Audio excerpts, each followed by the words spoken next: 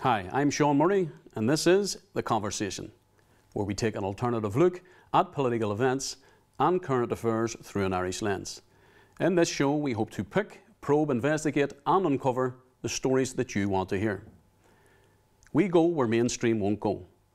This week, we take you, the audience, back to October 12, 1984. In an event that shook the British establishment, a bomb detonated at the Grand Hotel in Brighton, England, killing five people and almost killing then British Prime Minister Margaret Thatcher. Our next guest was central to this IRA attack. But before we speak to them, let's get a quick overview on one of the most cataclysmic events in British political history.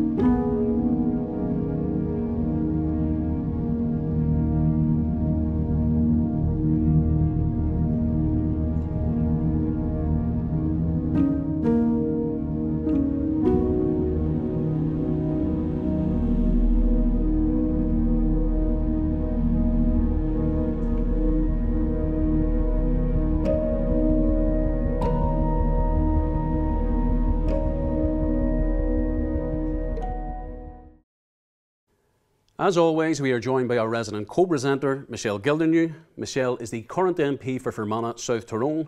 She has served in the Northern Ireland Assembly as a former Minister for Agriculture and Rural Development and chairperson of the Health Committee, amongst other things. Michelle has been a Sinn Féin activist since her teens and has been elected almost continuously since 1998. And today's guest is Pat Magee. Pat is a former member of the IRA who was jailed for the Brighton bombing in 1984. After serving 15 years, he was released under the Good Friday Agreement. Pat Magee, welcome to the show. Thanks, Sean. Pat, before we begin, can you tell me a bit about your childhood growing up in Belfast? Well, uh, at the age of four, I actually left Belfast. The family moved to England, but my best memories of those years were up to the age of four. You know, very solid memories. I'm talking about, I can detail events that happened when I know I was only two. And I think growing up in England, I felt very alienated there. It wasn't, wasn't a very happy childhood, I have to say that. But I was always thinking about what I'd left behind in my grandfather's house. And I think because I used to go back to it all the time in my head, it uh, firmed up those memories. And they're, they're among the most firm memories I have. And it was happy time. So, Pat, what age were you when you came back to Ireland? And you know, what was what were those years like, and what motivated you to join the IRA? Well, the family used to return to Belfast on occasions, and family members from Belfast used to visit us. Where We were living in a place called Norwich in, uh, in England. And so I had those links, you know, and the, they remain quite strong.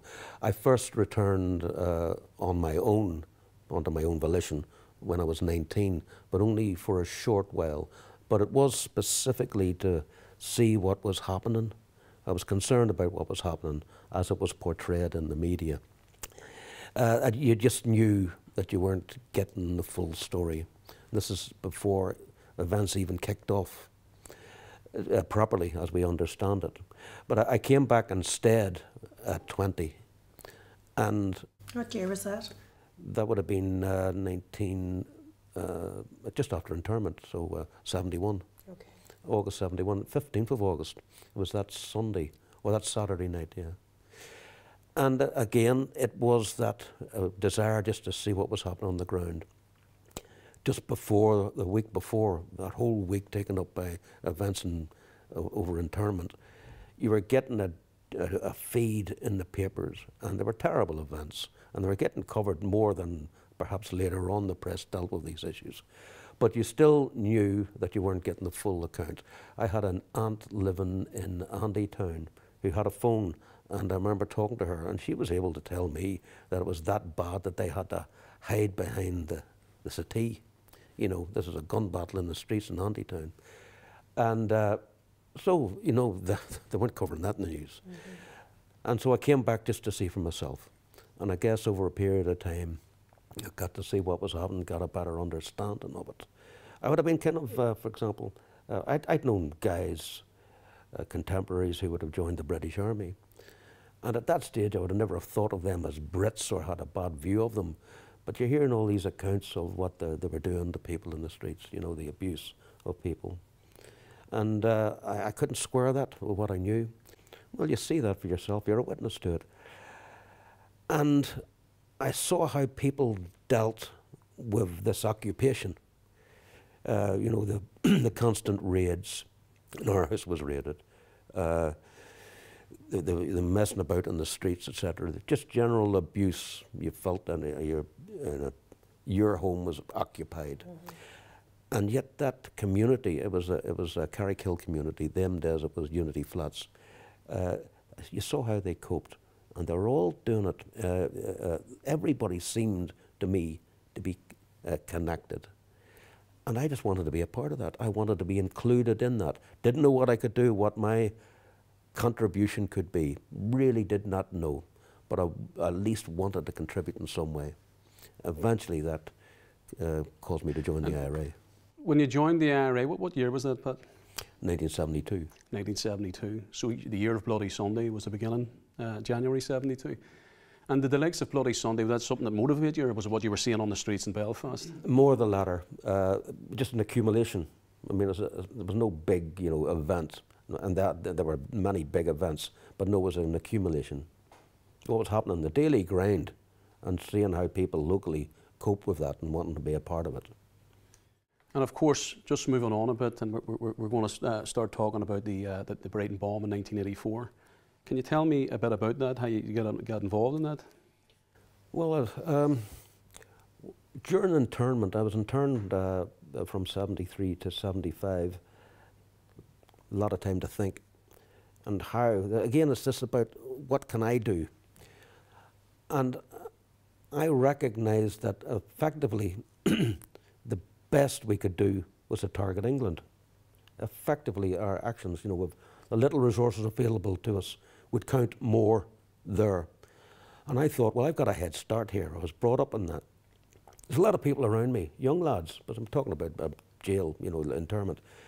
They've never been out of Belfast or never been out of their, you know, where they're from in the country.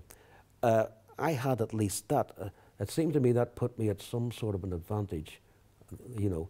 And so I came out of internment with a very firm view and commitment to somehow, you know, uh, volunteer to be part of the English campaign. And I suppose the next period was achieving that end. And so eventually I was active in England. Uh, and it was seen as a campaign. Uh, uh, Brighton, the Brighton operation, for all of its importance in terms of its targeting, was part of a campaign. We believed that the only way to get the Brits to the negotiating table was for a sustained campaign. Not one operation, no matter how significant, could achieve that. It was about uh, getting uh, a long-term, you know, uh, uh attack in England, and uh, I think eventually we did that after a lot of stops and starts, and I wasn't part of that. I was in jail by that stage. We'd have operated in England, withdrew because of logistics involved, and then come back to it. That wasn't a plan, the sort of pressure that was going to be needed. It took us a long time, a long time for the movement to gain what was needed. And eventually it did. Pat, I suppose we know that the people who are operating in England or in, in Britain at all, there were sometimes greater risks, um, and certainly the way they were treated after arrest and all the rest was um, seemed to be pretty brutal. And I'm thinking of people like Ella O'Dwyer and Martina Anderson, um, the Balcombe Street men. You know, there, there seemed to be a certain level of brutality against Irish prisoners in Britain, and innocent or, or not. Uh, they were all treated really badly, weren't they? What? It, it's uh, not quite as straightforward as that because it was a long campaign, a long history of, uh, of our people in jail in England. The, the real harsh uh, days were the early days where it, it was brutal was the norm. Gradually, I think we got on top of it to the point where we were respected by screws and prisoners alike, and you know we established ourselves. But uh, and you mentioned Ella and uh, uh, and Martina. Their their their treatment was uh, atrocious. Absolutely. As two women isolated. Uh, they've got a, a, harsher, much harsher re regime in terms of strip searches, etc., general messing about, than any male prisoner, never mind whether Republican or otherwise. It was, it was brutal. So just know. bringing it back to the, the, the, the Brighton bomb in itself, can you tell me about your role in, in, in the Brighton bomb? No, I can't really, but I don't want to. I don't want to talk about the specifics of the operation. It's just fair to say, like that, I was the person central. You know, he planted the, the device. But uh, beyond that, I, I, won't comment on it. And will you tell us about your arrest then, and, and what happened after the the bomb?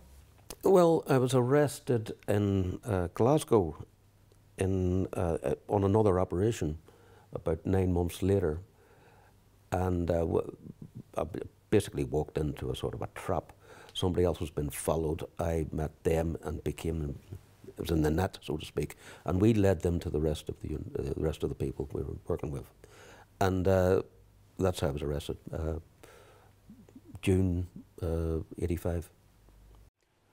You're still tuned in to the conversation, your weekly alternative probe of political events and current affairs through an Irish lens. Michelle Gildernew, my co host, is here alongside our special guest, human rights advocate Pat Magee. You just spoke about your time in prison, uh, and you'd mentioned about Ella O'Dwyer and Martina Anderson, about the, the, how they had got it an awful lot worse than the male prisoners. T tell me, what was it like uh, in jail in England? Because I know that you were then moved as part of the uh, uh circumstance, you were moved to, to the north. Tell us just a bit more about your own uh, treatment in jail.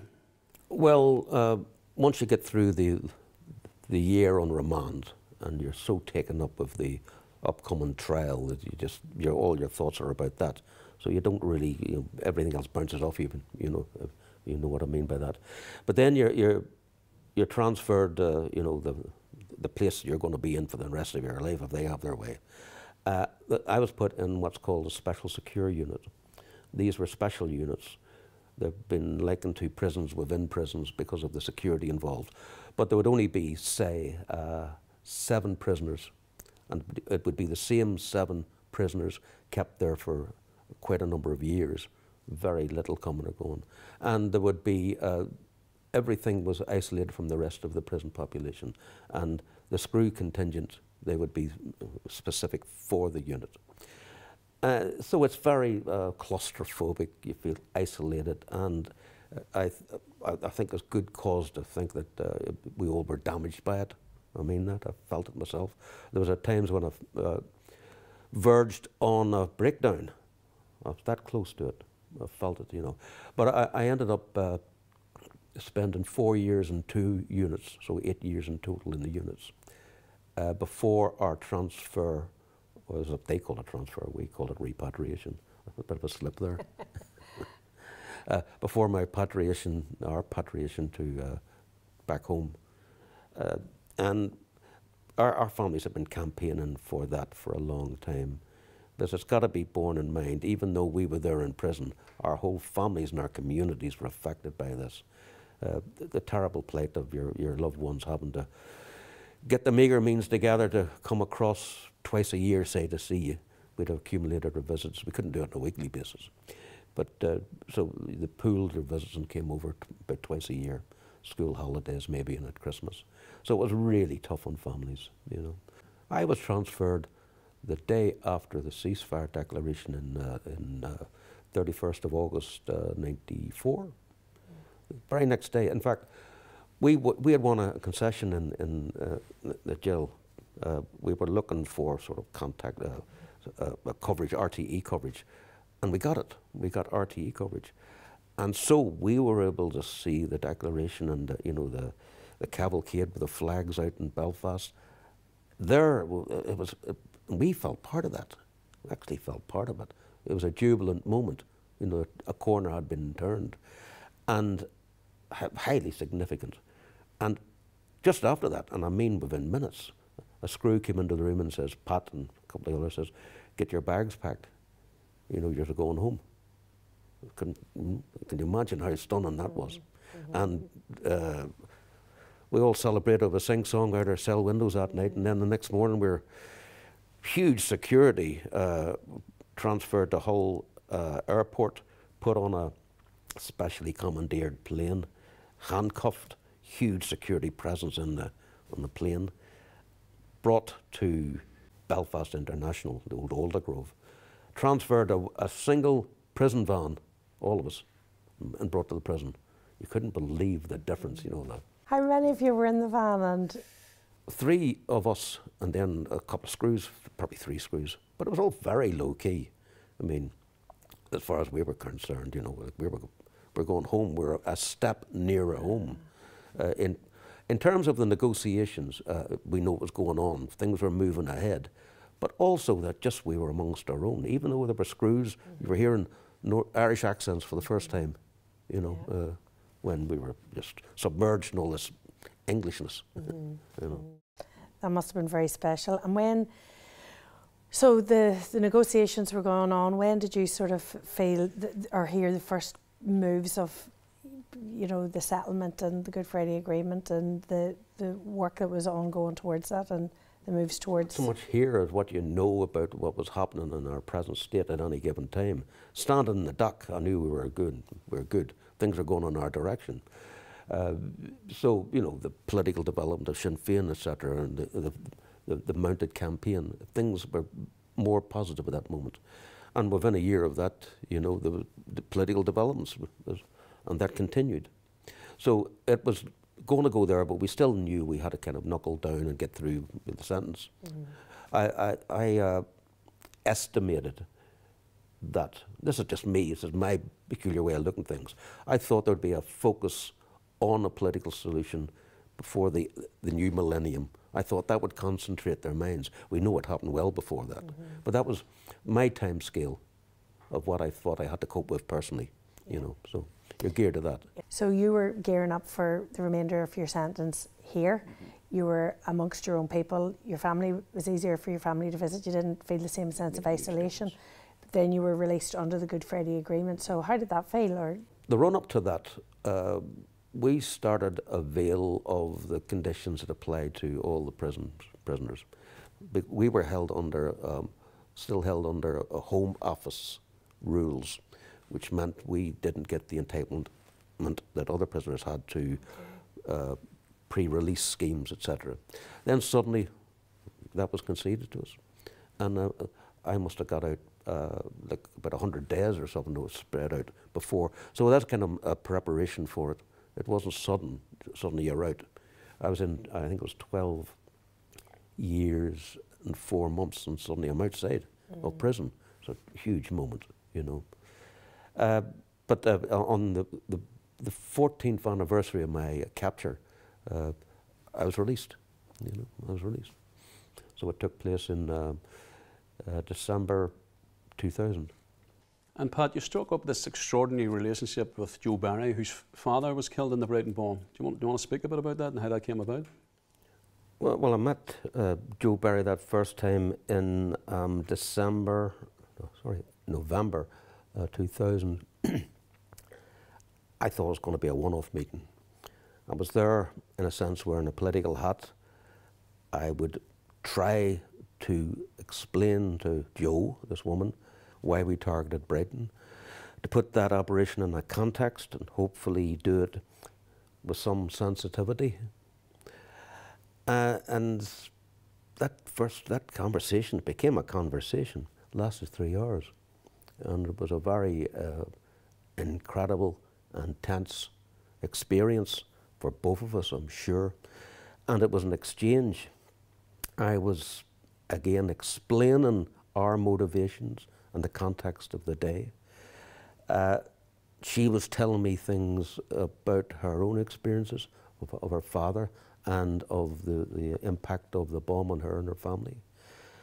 And clearly a very um, uh, sound, intelligent woman who knew quite a bit about Ireland. In fact, had visited Belfast quite soon, within a couple of years, of her father's death. Wanting to know, uh, I was completely unaware of, this. I only got to hear about this, as I said, a matter of months beforehand. But she, this is something she was committed to achieving long before that, right from you know the loss of her father. And you know, like I'm, as I'm saying, you're gauging this woman, and uh, I at, at, some stage she she, uh, she recited a poem she'd written, and she had written this sometime between three and six months before actually meeting me, before we were in this room sitting talking. And there was a phrase in the poem, Now I stand before you who killed my father. She had actually prefigured the moment, and it was a, a really aff affecting, you know. and it was like a, a, completely different conversation after that. And as I said, I'm, I'm, I'm getting, uh, I'm, I'm getting some impression of this woman. And she's a very fine woman. And then suddenly something just, something just clicked. It's what I perceived in her. knew must have, in some measure, coming from this man. It had come from him. Just clearly, the loss was apparent. And I killed this guy, you know. In other words, I killed a fine human being. And for me, it changed things. I couldn't articulate this feeling in the moment. But after that first meeting, uh, I had all these thoughts, you know, and uh, tried to put them down on paper too, you know, how to take this forward. I never for a moment thought there would be a second meeting, but I would have jumped at a second meeting. What I didn't appreciate was that Jo wanted the same. She wanted to meet me again. She also had this uh, feeling that was more to be said, more to be explored. And the next meeting occurred two weeks later. Uh, and we've been meeting quite regularly uh, for since then. Pat, it's been an extraordinary journey, uh, and me and you have become good friends over this last number of years, and it's always good to, to, to, to have you here. I want to thank you, okay? I want to thank Michelle, uh, and you're, you're welcome back anytime. It'd be great to see you again. Thanks, Sean. Thanks, Michelle. This week we take a look at Bloody Sunday and the reverberations that followed for many years after. How has the city of Derry moved on from then, or can it ever fully?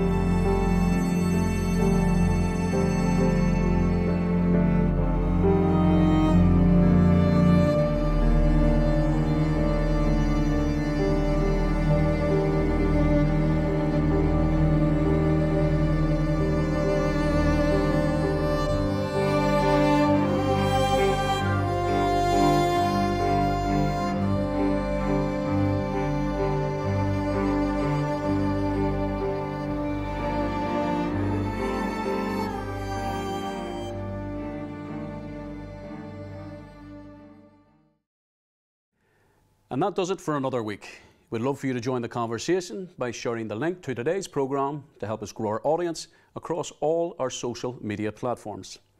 I'd like to thank our special guest, Pat Magee, and our resident co host, Michelle Gildernew. In the meantime, the conversation will be back next week with more investigations and analysis. I'm Sean Murray. Bye for now.